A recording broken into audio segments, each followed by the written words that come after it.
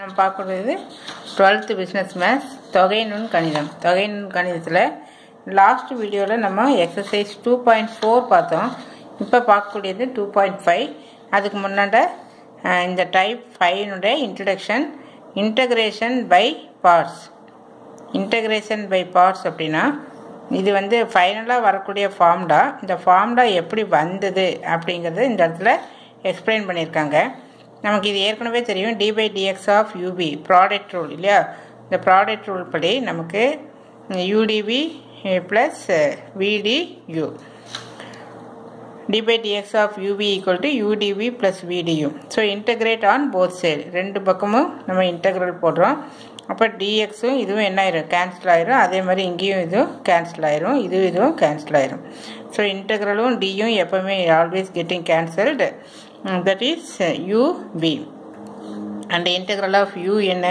Uh, இதுக்கும் uh, இங்கே UDV plus v du இது இருக்கு இல்லையா? இந்த யூபியை இந்த சைடு கொண்டு வந்துட்டு uh, தென் um, நமக்கு இன்டெக்ரல் யூடிவி தான் வேணும். அப்போ இதை இந்த ப்ளஸ் இந்த சைடு கொண்டு வந்தீங்கன்னா மைனஸ் அப்படின்னு ஆகும். ஸோ இந்த ஃபார்முலாவை தான் நம்ம இந்த சாப்டர் ஃபுல்லாகவே நம்ம யூஸ் பண்ண போகிறோம் சாரி இந்த எக்ஸசைஸ்க்கு யூஸ் பண்ண போகிறோம் எக்ஸசைஸ் டூ பாயிண்ட் ஃபைவ் இதுக்கு என்னென்ன ரூல்ஸ் அப்படின்னு சொல்லி இங்கே இந்த இடத்துல இருக்குது இந்த மெத்தட் இஸ் வெரி யூஸ்ஃபுல் இது இதெல்லாமே அப்படின்னு அப்படியே நீங்கள் பார்த்துக்குங்க. இதில் டோட்டலாக க கவனமாக சொல்ல வேண்டியது என்னென்னா if the integrand contains only a function which is directly not integrable இதில் வந்து இந்த நாட் இன்டகிரபிள் அப்படிங்கிறத நம்ம ரொம்ப கவனமாக பார்த்துக்குறோம். இப்படி வந்தால் நம்ம என்ன எடுத்துக்கணும் அதை யூ அப்படின்னு எடுத்துக்கணும் ரிமைனிங் பார்ட்டை நம்ம டிவி அப்படின்னு சொல்லி எடுத்துக்குவோம்.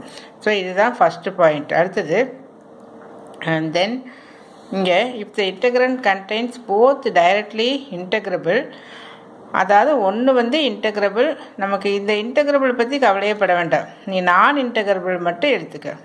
நான் இன்டகிரபிள் நம்ம என்னென்னு வச்சுட்டோம் யூ அப்படின்னு சொல்லி வச்சுக்கிறோம். Then take non integrable function as U so எதெல்லாம் நாட் இன்டகிரபிள் அப்படின்னு வருதோ அதை நம்ம என்னென்னு வச்சுக்க போகிறோம் யூ அப்படின்னு வச்சுக்க போகிறோம் அதே மாதிரி ரெண்டுமே இன்டகிரபிள் போத் இன்டகிரபிள் அப்படின்னு இருக்கிறப்போ எதை நம்ம யூன்னு வச்சுக்கலாம். அப்படின்னா எக்ஸ் பவர் என் ஃபார்முக்கு எது வருதோ அதை வந்து நம்ம யூ அப்படின்னு சொல்லி வச்சுக்கிறோம். ஸோ இது க கன்சல்டேட்டாக சொல்லணும் அப்படின்னா இங்கே நான் எழுதியிருக்கேன். நான் இன்டகிரபிள்னா யூன்னு வச்சுக்கணும். எக்ஸ் பவர் என் ஃபார்மில் வந்தால் யூ அப்படின்னு வச்சுக்கணும். அதாவது இன்டகிரபிள் ரெண்டுமே இன்டகிரபிள் இங்கே வந்து போத் இன்டகிரபிள் அந்த மாதிரி இருக்கிறப்போ எதை யூவை வச்சுக்கணும்னா எக்ஸ் பவர் என் ஃபார்மில் என்ன வருதோ அதை வந்து நம்ம யூ அப்படின்னு சொல்லி வச்சுக்கிறோம். ஸோ ஃபைனலி மறுபடியும் சொல்கிறேன் எது நான் இன்டகிரபிளோ அது யூ எக்ஸ் பவர் ரெண்டுமே இன்டகிரபிள் அப்போ நம்ம எதை எடுத்துக்கலாம் அப்படின்னா எக்ஸ் பவர் என் ஃபார்மில் எது வருதோ அதை வந்து நம்ம யூ அப்படின்னு சொல்லி எடுத்துக்கிறோம். இதே நம்ம தமிழ் மீடியம் இது வந்து தமிழ் மீடியத்துக்கு உண்டான புக்கு இது வந்து நம்ம ஏற்கனவே சொல்லிட்டோம். இதுலேயே அப்படி தான் தொகை தொகை காண்பான் ஆனது நேரடியாக தொகையிட இயலாத தொகையிட இயலாத ஒரு சார்பை யூ என்க. இது ஒரு பாயிண்ட் ஆயிடுச்சு அப்பவே சொன்ன அதே பாயிண்ட்டு தான். அடுத்தது இதுலேயும் அப்படி தான் தொகையிட இயலாத சார்பு. அதாவது ஒன்று வந்து தொகையிடக்கூடியது நேரடியாக தொ ஒன்று தொகையிடக்கூடியது மற்றொன்று தொகையிட இயலாதது. ஸோ அந்த மாதிரி இருந்தால் அதை நம்ம என்னென்னு வச்சுக்கிறோம்? யூ அப்படின்னு வச்சுக்கிறோம். அடுத்தது இரண்டுமே தொகையிடக்கூடியது. இரு நேரடியாக தொகையிடக்கூடிய சார்பு. அதில் எதை எடுத்துக்கணும் அப்படின்னா X power N X power என்னன்னு எந்த இதில் இருக்கோ அந் அந்த ஃபார்மில் வரக்கூடியதை நம்ம என்னென்னு வச்சுக்கிறோம்? யூ அப்படின்னு சொல்லி வச்சுக்கிறோம். இப்போ இதுலேயே நமக்கு பார்த்தீங்கன்னா இன்னொரு மெத்தட் என்னென்னா இந்த ஐஎல்ஏடிஇ இதில் ஸ்டார்ட் பண்ணக்கூடிய என்ற சொல்லில் உள்ள எழுத்துக்களின் வரிசையின்படி முதலில் வரும் சார்பு பகுதியை யூ என்றும் செய்யலாம். அதாவது ஐ ஐ அப்படின்னா இன்வர்ஸ் ட்ரிக்னாமெட்ரிக் ஃபங்க்ஷன் அதாவது சைன் இன்வர்ஸ் எக்ஸ் இந்த மாதிரி எல்லாம் வந்து அதை நம்ம என்னென்னு வச்சுக்கலாம்? யூ இந்த பாட்டை நம்ம யூன்னு வச்சுக்கலாம். அடுத்தது மடக்கை சார்பு அப்படின்னா லாகரிமிக் ஃபங்க்ஷன் அதையும் நம்ம யூன்னு வச்சுக்கலாம். தென் அல்ஜிபிரிக் ஃபங்க்ஷன் இயற்கணித சார்பு. அதையும் யூன்னு வச்சுக்கலாம். தென் ட்ரிக்னாமெட்ரிக் ஃபங்க்ஷன் ட்ரிக்னாமெட்ரிக் ஃபங்க்ஷன்னா சைன் தீட்டா காஸ் தீட்டா இந்த மாதிரி வந்தால் அதையும் யூன்னு வச்சுக்கலாம். அடுத்தது எக்ஸ்பனன்சியல் ஃபங்க்ஷன் எக்ஸ்பனன்சியல் ஃபங்க்ஷன் அப்படின்னா அடுக்கு சார்புன்னு வரும் இல்லையா? அந்த மாதிரி அதையும் வரக்கூடியதை யூ அப்படின்னு சொல்லி வச்சுக்கலாம். இது சம் செய்கிறப்போ உனக்கு ஈஸியாக இருக்கும். இதுவே வீடியோ டைம் அதிகமாயிடுச்சு.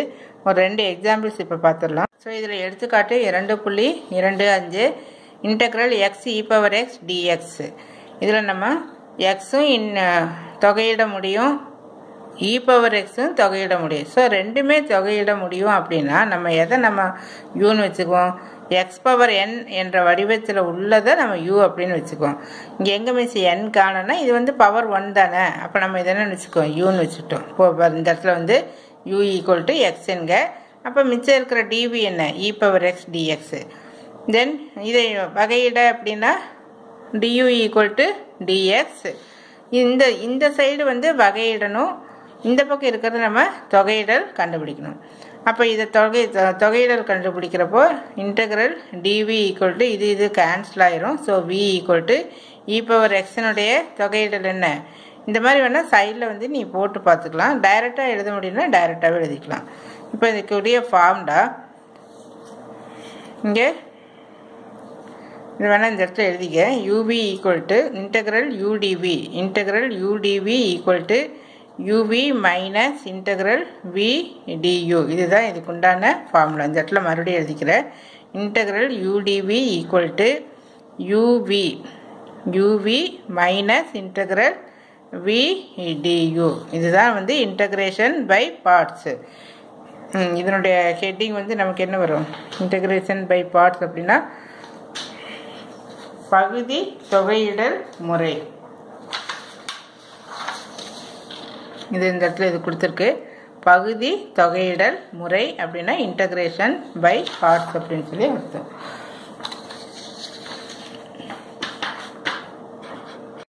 ஸோ இதை இதை முன்னாடி எழுதிட்டீங்கன்னா உனக்கு ஈஸியாக இருக்கும். So integral UDV equal to UV minus integral VD U நம்ம யூ என்னன்னு வச்சுட்டோம் எக்ஸ்ன்னு வச்சுட்டோம். ஸோ இங்கே எக்ஸ் போட்டாச்சு வி வந்து கண்டுபிடிச்சிட்டோம். இ பவர் எக்ஸ் அப்படின்னு. So E power X then integral VDU V என்ன? இ பவர் எக்ஸ் ஒவ்வொரு டைமும் இந்த பாக்ஸை பார்த்துட்டு அதை எழுதிக்கணும். அப்புறம் integration of E power X என்ன? E power X plus C so இதோட இந்த ஃபர்ஸ்ட் கொஷின் வந்து ஓவர் இது இங்கிலீஷ் மீடியத்துலேயும் அதே தான் கொடுத்துருக்கு here the question is X E power X D X இங்கே நமக்கு என்ன கொடுத்துருக்கு அப்படின்னா take U equal to X then differentiate இந்த பக்கம் டிஃப்ரென்ஷியேட் பண்ணுறோம் இந்த பக்கம் இன்டகிரேட் பண்ணுறோம் இந்த சைடு வரதை இன்டகிரேட் இந்த சைடு வரதை டிஃப்ரென்ஷியேட் இந்த யூன்னு வச்சுட்டோம் இல்லையா அதை டிஃப்ரென்ஷியேட் பண்ணுறோம் டிவின்னு இருக்கிறத இன்டகிரேட் பண்ணணும். So the same method I explained here அடுத்த கொஷின் வந்து அடுத்த வீடியோவில் பார்க்கலாம்.